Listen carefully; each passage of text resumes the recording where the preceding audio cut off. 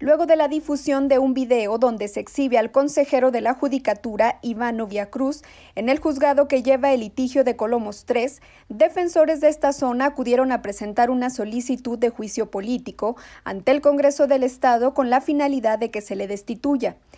El mismo fue interpuesto por representantes del colectivo Pro Bosque Pedagógico del Agua y Ciudadanos por los Colomos.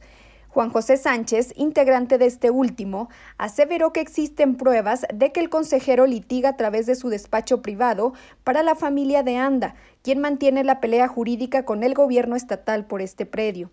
El video que tenemos nosotros y actas que se han levantado donde la licenciada relatora del, del consejero Iván Novia la licenciada Renata Bañuelos Díaz ha acudido al Palacio de Gobierno, ya hay actas levantadas, a llevar documentación de este juicio. Jaime Eloy Ruiz, integrante del colectivo Pro Bosque Pedagógico del Agua, expresó que esperan un estudio desde el Congreso del Estado para que se amplíen las razones del juicio político y se aplique la norma contra este funcionario, pues se corre el riesgo de que el predio se entregue para intereses inmobiliarios con la intervención del consejero. O sea, no podemos quedarnos así nomás porque hay muchas trampas que se pueden aplicar.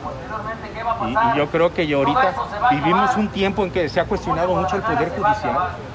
Hoy más que nunca necesitamos que haya voluntad política y sabiduría y espíritu de justicia para que esto se resuelva a favor de la sociedad y del medio ambiente. Novia Cruz fue nombrado como consejero hace apenas 11 meses en un cuestionado proceso, luego de que los diputados eligieron aspirantes reprobados en los exámenes de conocimientos. Para señal informativa, Fátima Aguilar.